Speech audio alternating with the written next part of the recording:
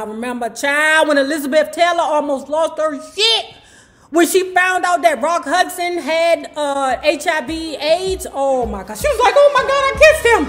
I kissed him. Bitch, you ain't gonna die. And if you do die, you ain't gonna die for sucking face with the Rock Hudson.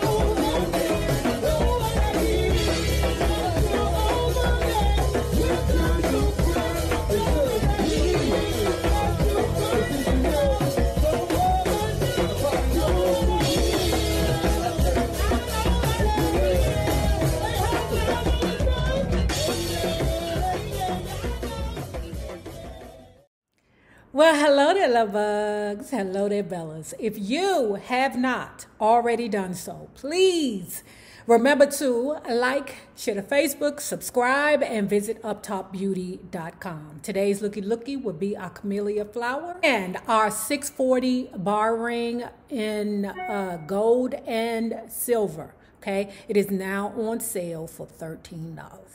And if you are not already a part of our book club, please hit the Patreon link below and or the join button here on the YouTube.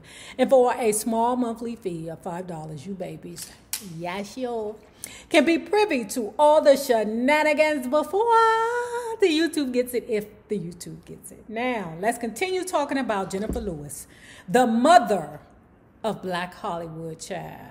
It's, it's, we getting close. We getting close to the end. I auditioned for The Fresh Prince of Bel Air and was hired to play Aunt Helen.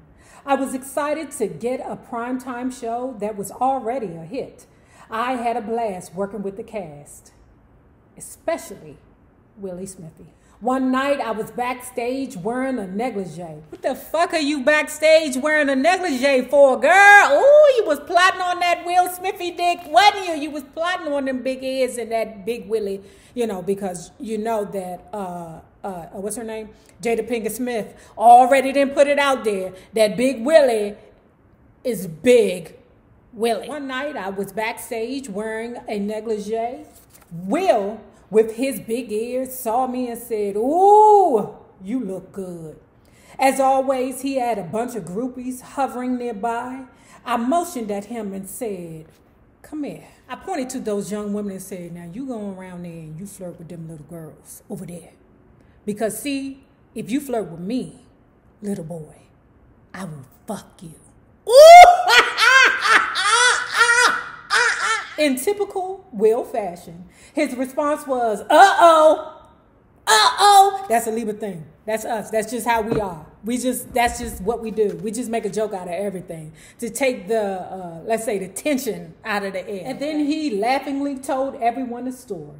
It was a bonding experience, and he became quite protective of me. Our mutual admiration for each other's talent made it a joy to work on the show. I started hanging out with Janet Hubert. Fuck that bitch. Look at me, in my eyes, look at me. You almost caused me to lose my damn channel, okay? And I ain't do nothing to the hoe. I ain't do nothing to the hoe. She just, I think I used a piece of her commentary um, when I was doing, uh, what is that, celebrity gossip okay? And uh, I was providing my commentary about her commentary, okay? This fucking bitch contacted the YouTube and gave me a whole full copyright. So much so that I was like, oh shit. I started emailing the whole, look, hoe, okay? I don't know you like that. I don't know why they didn't, you know, put you through uh, everything that they didn't put you through around there to the uh, what's your name to the Will Smithy show. I don't know, okay, but I didn't do it to you, bitch. I don't have no problems with you. Never have, never will. Didn't matter. The whole did not respond to me, okay? Because when you get a copyright strike here on YouTube, you can ask the person to take it off, you know. And I ain't talking about one of them junks you get from playing music. You know, all they do is just take your income from you.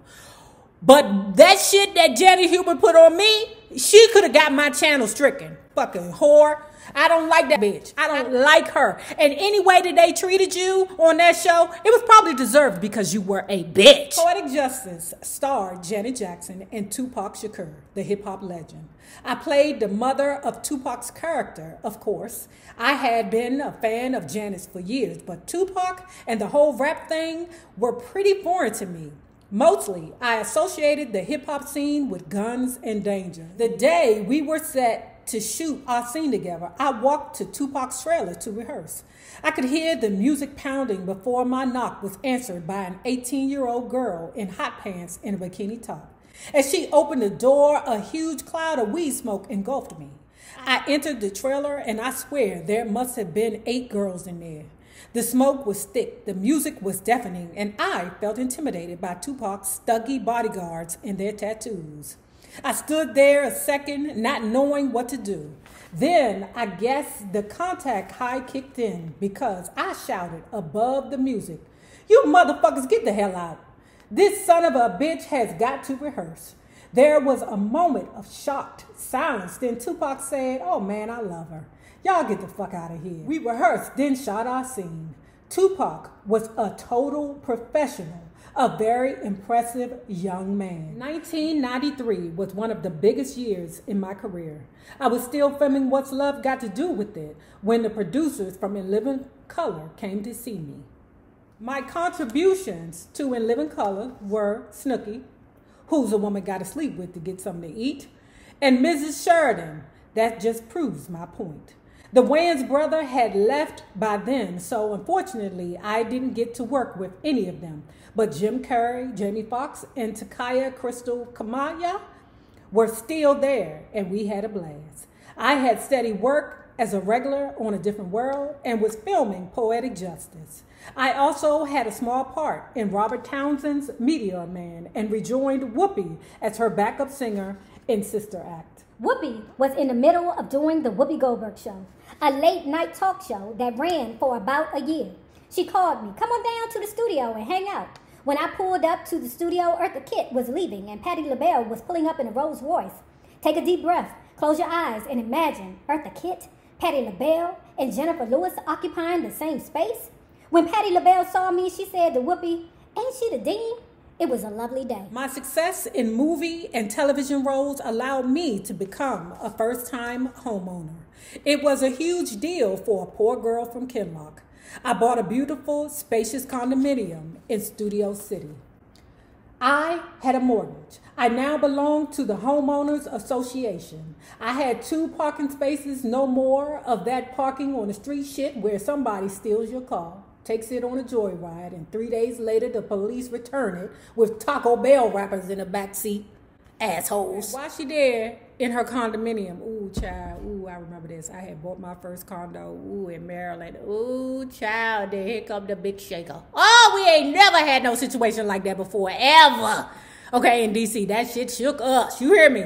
That that shit was scary because it reminded us of um, 9-11 okay because 9-11 did shake dc okay and when we got that that what year was that that we got that earthquake in dc y'all was it 2009, maybe 2010, I think. Ooh, it was rough, y'all. It was rough. It scared the shit out of us. But anyway, she's talking about when she uh, had her earthquake situation in her condo. Even though California is the shaky, shaky state, to me, you'll never get used to having the earth rattle. Okay, you know what you're supposed to do, but what it's a procedure when a gun is in your face, okay? They tell you what to do, but it don't mean that you actually going to do it, you know, because you sometimes are in a state of shock, right? That's why I always got to have me old smart, quick thinking partner with me. Just a few weeks after the earthquake, I was asked to step in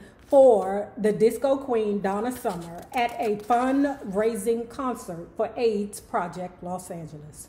The AIDS crisis was rampant and Hollywood royalty came out in droves that night. Whitney Houston, Elizabeth Taylor, Jennifer Holliday, Madonna, and countless more stars were there to honor entertainment idols whose lives were taken by the epidemic, including Rock Hudson. Y'all remember, child, when Elizabeth Taylor almost lost her shit? When she found out that Rock Hudson had uh, HIV AIDS, oh my God. She was like, oh my God, I kissed him. I kissed him. Bitch, you ain't gonna die. And if you do die, you ain't gonna die for sucking face with the Rock Hudson, but we didn't know that then. Okay. But child, Elizabeth Taylor was was was shook okay? Because I think she had did a movie with Rock Hudson, and you know they had their romantic moments. Uh, uh, girl, you know how many gay men you done suck face with, but you don't know. I'm just finding out that the Perry Mason was old legal gay. Uh, uh, attorney gay. I didn't know that. Idols whose lives were taken by the epidemic including Rock Hudson, Robert Mapplethorpe, and Freddie Mercury. Not my Freddie, not my Freddie. Oh my God, I love the Freddie Mercury. I love that mother. He, oh, so astounding. He, to me, he's like the White Prince. Not Prince Charles, but Prince Prince. Roger Prince Nelson or Prince Roger Nelson. When I took the stage, accompanied by a six piece orchestra, three backup singers, and a half dozen dancers, I could see two of my biggest idols First Lady Hillary Clinton and Barbra Streisand sitting next to each other in the fifth row center. As one might expect, my performance was highly energetic and highly irreverent.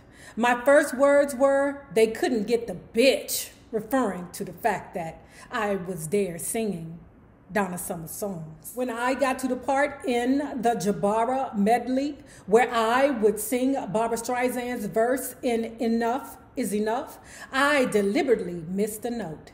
Walking to the front of the stage to address Miss Streisand, I said, Barbra, can you help me with this note, honey? When I saw Barbra and Hillary turn to one another and laugh, my life was complete. And I got the first standing ovation of the night. During the summer, I went on a study tour of Egypt with acclaimed Egyptologist Professor Asa Hilliard.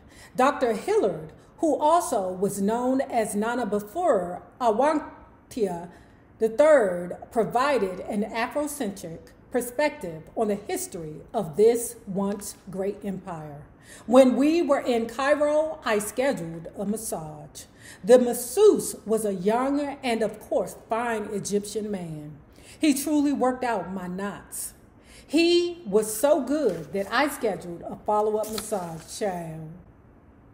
You mean a follow up? Look, when you meet a man and a man be like, "Hi, here, you know, here's my card. This is this is my card. Call me anytime." And it says on that blicker, masseuse. That means will accept money for dick. That's what that means. But let me continue. He was so good that I scheduled a follow up massage, fully intending to fuck him, didn't I tell you? But I was conflicted. Rachel and I recently had talked about how others can't rescue you. So I tried to work through the situation by writing about it in my journal. After a couple of drinks, I called Rachel to talk me out of it. Jenifer, it's 3 a.m. Los Angeles time. I'm sorry, Rachel, but I'm going to have to have sex with this man. No, you're not. She hung up. Rachel was not suffering my foolishness, and I did not have sex with the masseuse. I returned to the States only to learn from my answer machine that four friends had died from AIDS while I was away. I was taking my medications regularly. There were side effects, including dry mouth and a loss of sexual appetite, which was a blessing. So much for my sex addiction. My psychiatrist worked with me to adjust the dosage. It took patience, patience, patience to get the medication right. The best effect of the meds was that when the phone rang with bad news, I wasn't going to fall apart emotionally. At the New York premiere of the film Waiting to Exhale, Lela Rochon sat on one side of me and Loretta Devine was on the other. Whitney Houston was behind me on the right, sitting next to Angela Bassett behind me on the left. I was surrounded by friends who starred in the film the film that I had not gotten apart. I came home insanely depressed. but then felt very proud of myself because I actually got out of bed, grabbed my journal, and sat with my feelings as Rachel had suggested. Must have worked because I had a great time on the preacher's wife set the next day. Whitney and I took to each other like eggs and bacon.